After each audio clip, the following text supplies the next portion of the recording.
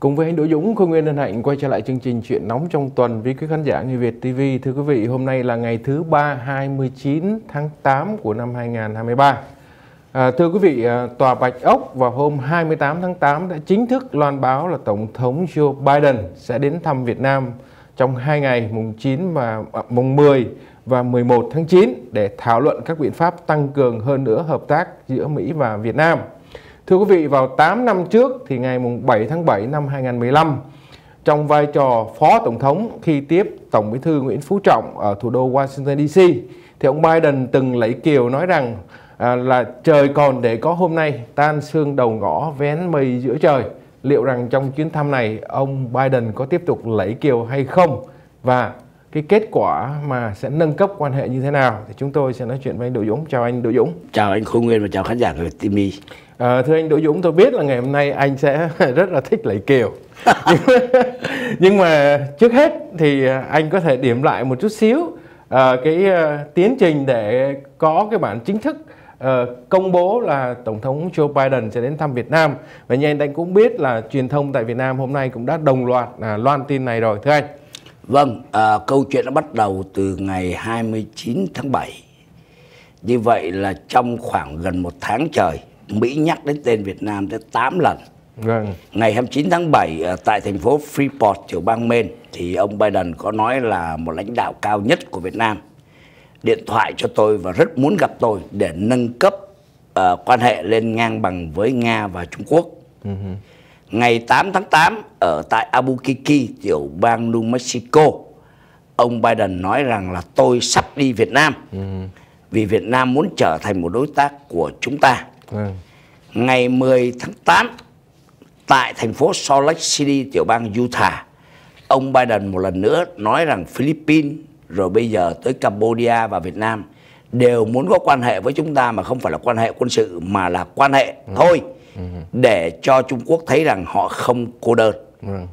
Đến ngày 18 tháng 8 trong lúc ông Biden họp thượng đỉnh với Thủ tướng Nhật và Tổng thống Nam Hàn thì ba giới chức cao cấp Tòa Bạch Ốc tiết lộ cho tờ Politico nói rằng ông Biden sẽ đi thăm Việt Nam và ký lên hợp tác chiến lược. Vâng. Như vậy là mấy lần tổng cộng? Đối tác chiến lược. 4 lần. Vâng. Đối, đối tác chiến lược là 4 lần rồi đúng không? Vâng.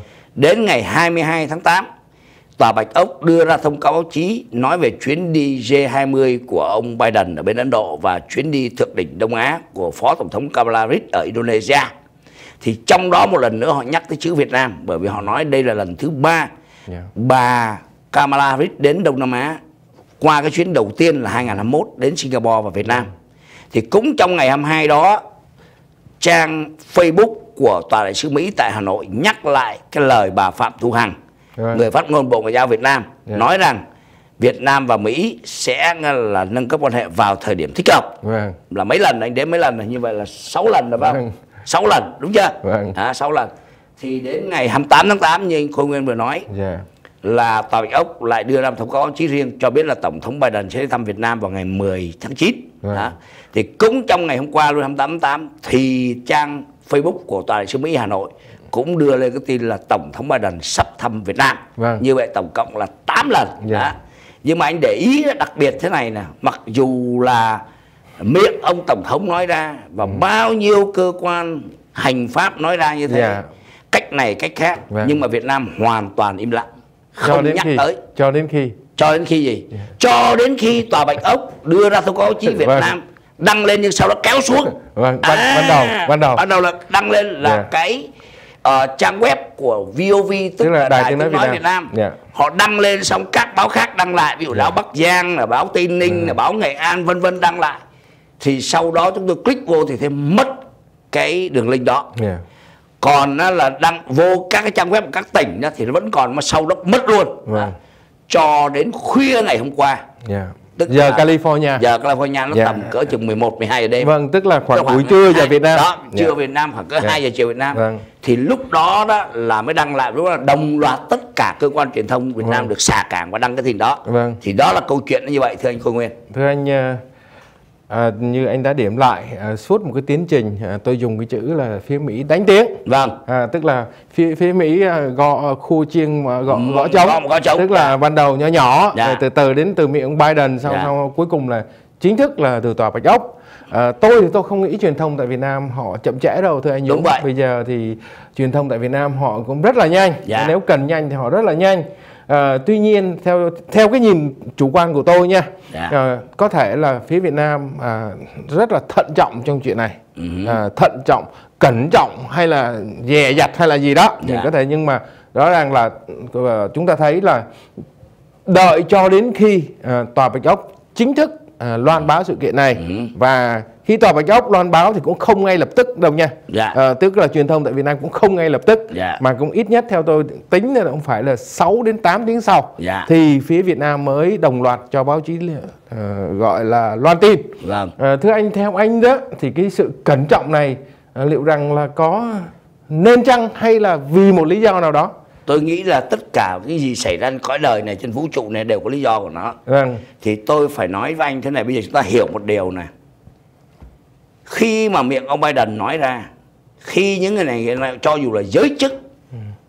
của Mỹ nói vâng. thì Việt Nam không được đưa tin ừ ở các nhà báo trong nước họ nói với tôi này ô chừng nào có chính chính thức của tòa bạch ốc mới đưa ra vâng. thì tôi mới hỏi ủa bây giờ đâu có cần nói là ông Biden đi Việt Nam chỉ cần tường thuật cái tin là ông Biden nói ông sẽ đi Việt Nam đó là cái tin vâng. nhưng mà họ không được phép làm chuyện vâng. đó à, vì vâng. chúng ta biết là gì tất cả cơ quan truyền thông ở trong nước là đều của nhà nước và ban tuyên giáo và bộ 4T kiểm soát đó cái điểm thứ hai nữa là ngay cả sau khi mà tòa bạch ốc đưa ra thì anh cô Nguyên bảo là họ không, không bây giờ chúng ta hiểu rồi giới chức Mỹ nói vẫn không được đăng. Ừ. tòa bạch ốc đưa ra vẫn không được đăng. Phải là ban tuyên giáo cho phép đăng mới được đăng. Chính xác. Tôi nói vậy chúng chính xác không? Vâng. thành ra thưa vị chúng ta học được bài học là đối với Việt Nam. Là từ nay trở đi bất kỳ cái gì cho dù là nói là trái đất xoay chung quanh mặt trời anh cũng không được đăng luôn. Phải ban tuyên giáo cho phép đăng mới được đăng. Đó. Thế là bây giờ trở lại câu hỏi của anh Khôn Nguyên là tại sao có sự dè dặt đó? Nó có lý do.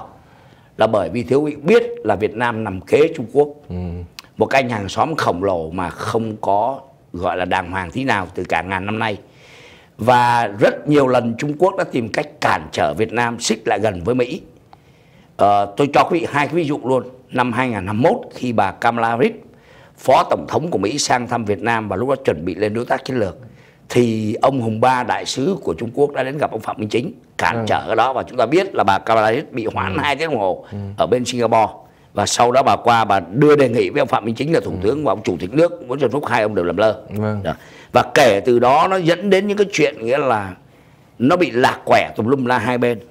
Cho đến khi gần đây anh nhớ ở tháng 4 năm nay khi mà ông Anthony Blinken lần đầu tiên một ngoại trưởng của Mỹ dưới thời ông Biden đi qua thăm Việt Nam. Ừ.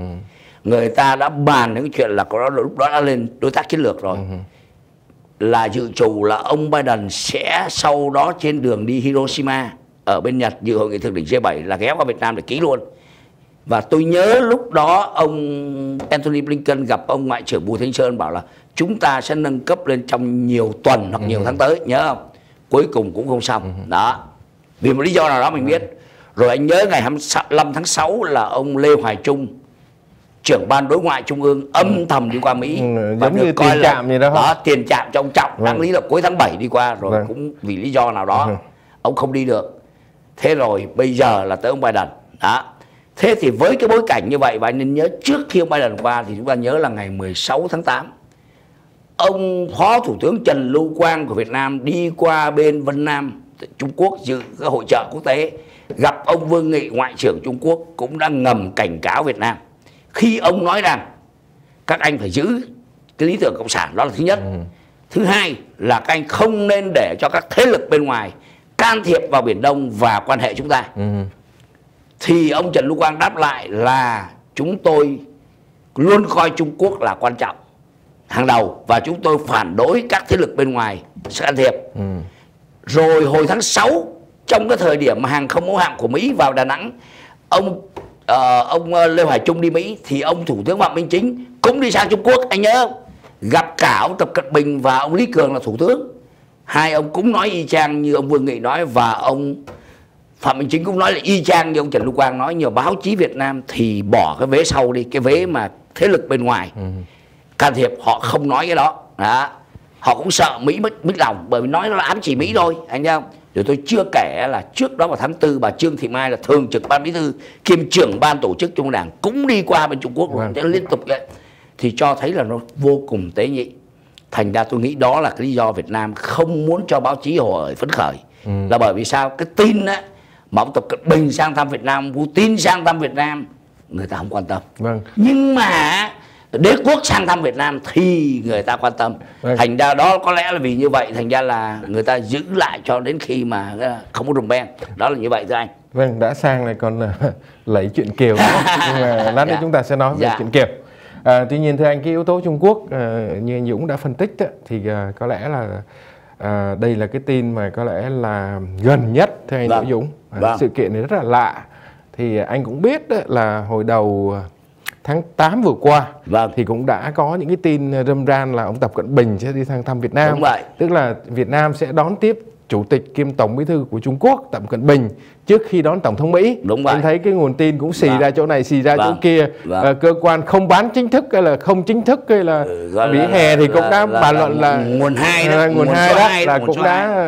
bàn luận về chuyện này rồi. Yeah. Tuy nhiên thì cho đến giờ phút này, ừ. thưa anh, chúng ta không biết nhưng mà ít nhất cho đến giờ phút này thì vẫn chưa thấy truyền thông cả Việt Nam lẫn Trung Quốc vâng. loan tin là ông Tập Cận Bình có sang thăm Việt Nam hay không. Vâng. Nhưng những cái sự kiện dồn dập như anh Đỗ Dũng điểm lại hồi nãy đó thì cái sự kiện gần đây nhất thưa anh đó là ngày 25 tháng 8 một cái hiện tượng rất là lạ, một sự kiện rất là lạ đó là Tổng Bí thư Đảng Cộng sản Việt Nam ông Nguyễn Phú Trọng đích thân lên thăm cửa khẩu quốc tế hữu nghị ở tỉnh Lạng Sơn. Vâng. À, ban kỹ thuật có thể cho xem cái màn hình laptop của tôi. À, Thưa anh, đây là cái bài ở trên Vietnamnet, một trong rất nhiều tờ báo tường thuật vâng. lại cái chuyến thăm và làm việc uh, của Tổng Bí thư Nguyễn Phú Trọng tại Lạng Sơn. Vâng. Trong đó họ đăng ờ, hình của Thông tấn xã Việt Nam, tất nhiên vâng. uh, cơ quan chính thức vâng. về hình ảnh cũng như là không, tin tức. Không thể là hình giả. Ra, không thể là hình giả được. À, thì đây là hình ảnh ông Nguyễn Phú Trọng mà đến thăm à, cửa khẩu tức là đến thăm và làm việc tại tỉnh Lạng Sơn dạ. và đến à, thăm cửa khẩu huyện Quan nhưng bức hình này rất quan trọng thưa anh dạ, vâng. người bên trái mặc cái áo màu xanh đó là ông Hùng Ba dạ. dạ. đại sứ ờ, đặc mệnh toàn quyền của, của nước Cộng hòa Nhân dân Trung Hoa tại Việt Nam tại Việt Nam ừ. thì cái ông Hùng Ba vâng, ông Hùng Ba dạ. dạ à, ông Hùng Ba có mặt tại cửa khẩu hữu nghị quan vâng. và bắt tay tổng bí thư Nguyễn Phú Trọng. Yeah. Dạ. Anh nhìn thấy ông yeah. Dạ. Nguyễn Phú Trọng thì có lẽ là sức khỏe cũng không có được tốt lắm yeah. Dạ. từ trước đến giờ rồi. Yeah. Đặc biệt là khó khăn trong đi đứng. Vâng. Nhưng mà ông đã đến tận biên giới. Không sao, chuyện đó vâng. nhỏ. Đó. Tôi nói anh biết là tôi đến chỗ này trước ông Trọng luôn đó. tôi đến đây rồi. À, vâng. Rất lâu rồi. Dạ, rất lâu rồi tôi đến đây rồi. Nhưng mà À, ý tôi muốn nói đó anh thấy không? Ừ. Ông bắt tay cả với phía phía và phía, phía bên Trung Quốc nữa. Vâng. À, các uh, giới chức biên phòng gì đó của phía ừ. Trung Quốc ở trong cái bản tin này thì dạ. chúng ta có thể thấy được rằng là Việt Nam với cái uh, cái cách mà nói của Việt Nam đó là ngoại giao cây tre, uh, có nghĩa là họ rất là uyển chuyển và cái việc mà uh, cách đây hai hai ngày dạ. thì việc uh, À, Thủ tướng uh, Lý Hiển Long của Singapore vâng. cũng đã đến thăm chính thức Việt Nam vâng. và ông Phạm Minh Chính cũng đã đề cập đến chuyện là sẽ nâng cấp quan hệ với lại Lên, Singapore. Đó, uh, nâng cấp quan hệ uh, gọi là chiến lược kinh tế chứ không phải đó. chứ mà ngoại giao. Đúng rồi, đó tế. ý dạ. tôi nói đó dạ. là Việt Nam cũng đã chuẩn bị dạ. uh, những cái uh, gọi là uh, các hành động gọi là gọi là bày bày binh bố trận đó, đó, đó, đó, để chi trước khi ông Biden uh, dạ. đến Hà Nội nó nói chung là thế này luôn nè với cái anh hàng xóm mà ừ.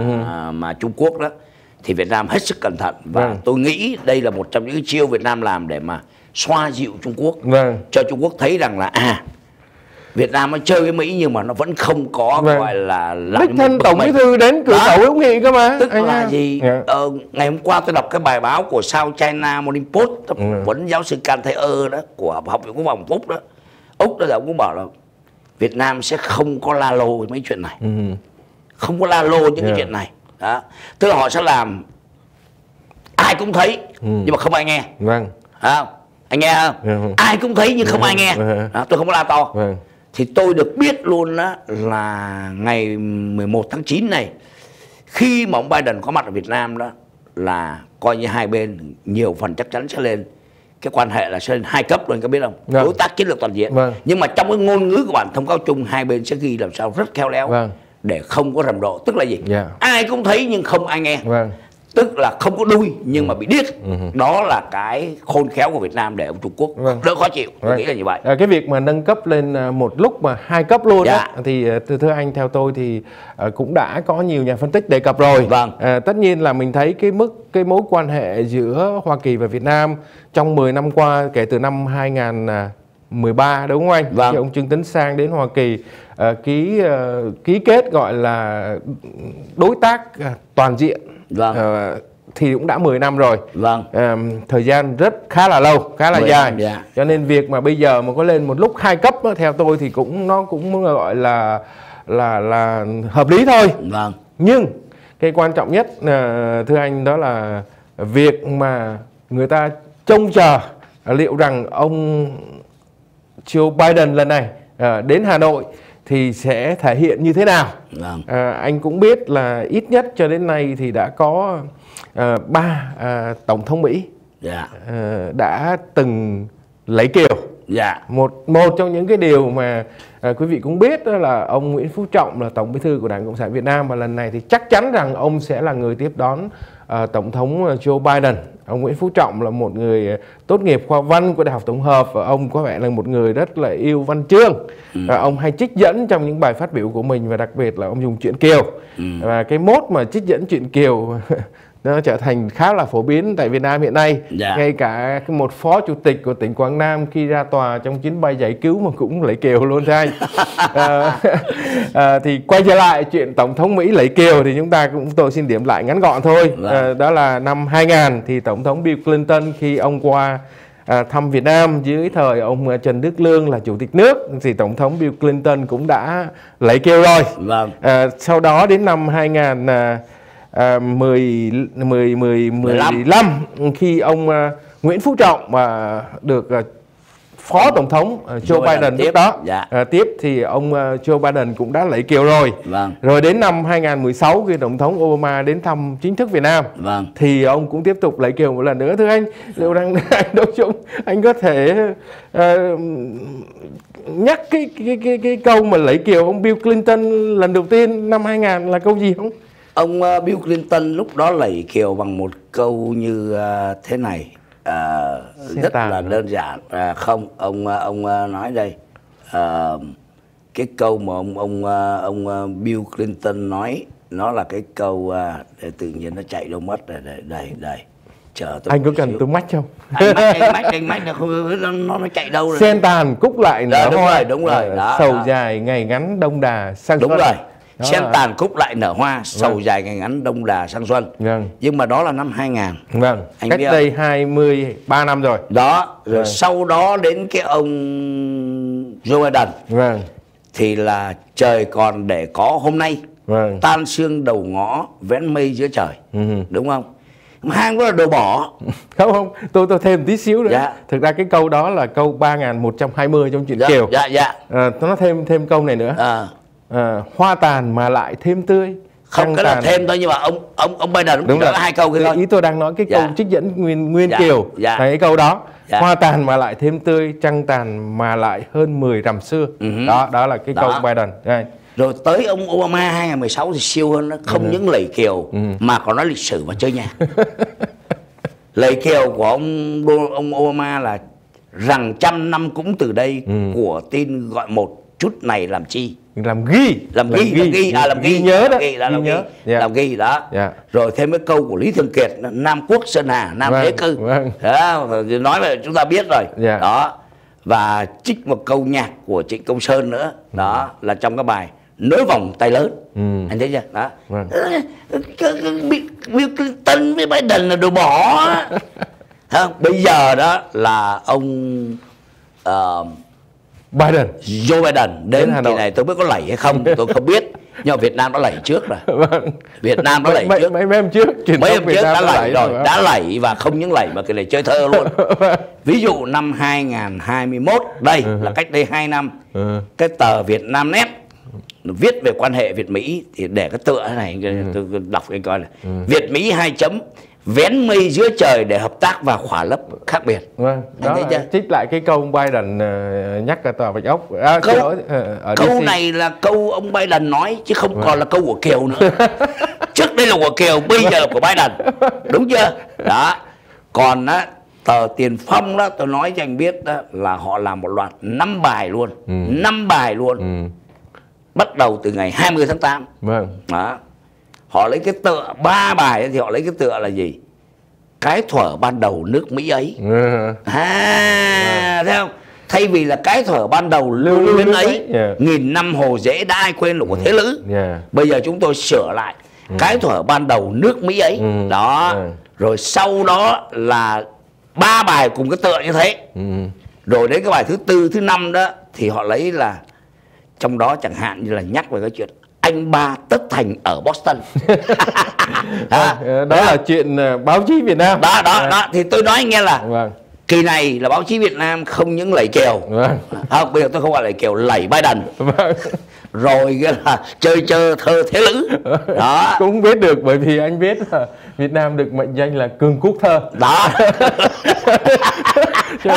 à, anh nói đúng. Siêu cường về thơ. Siêu, siêu cường. về thơ. Siêu cường về, về thơ. À, cho nên là có thể là chúng ta à, sẽ tiếp tục theo dõi trên truyền thông nhưng mà trước khi chấm dứt cái này tôi muốn nhắc anh là bởi vì nãy anh nhắc tới tổng bí thư nguyễn phú trọng. Vâng. ông học khoa văn vâng. đại học tổng hợp hà nội vâng. đó. Vâng. ông vô là năm 63 vâng thì năm cái loạt bài cái loạt bài năm bài trên tờ tiền phong do nhà báo xuân ba viết vâng. mà nhà báo xuân ba này cũng là học ở cùng khoa với ông trọng luôn cùng trường luôn giờ sau 13 năm vâng. tôi không biết đây vô tình hay cố ý tôi không biết vâng. nhưng mà tôi nghĩ rằng họ tính toán rất là cẩn thận vâng ạ. tức là phải cỡ khoa văn đại học tổng hợp thì mới viết được cái này chứ vâng. khoa khác đại học khác thì không viết được vâng. anh thấy không à, chúng ta sẽ hẹn với quý khán giả trong chương trình kỳ tới dạ. à, chúng ta sẽ nói thêm về cái à, quan hệ Việt Mỹ liệu rằng lên chiến lược hay là đối tác chiến lược thì nó ra sao vâng. còn chương trình hôm nay thì chúng tôi xin tạm dừng ở đây cảm ơn quý khán giả đã theo dõi chương trình và quý vị nào đang xem chúng tôi trên YouTube thì quý vị có thể nhấn vào nút subscribe để quý vị nhận thông báo mới từ người Việt TV và xin hẹn gặp lại quý vị trong chương trình này kỳ tới.